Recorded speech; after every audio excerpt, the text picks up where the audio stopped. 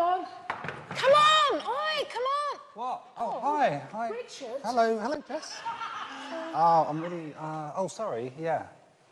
Um, there was no one in there, so I thought it was all right to go in.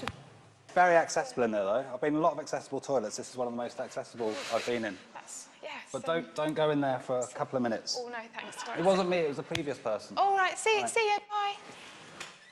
What? Oh, Pudsey, not you as well.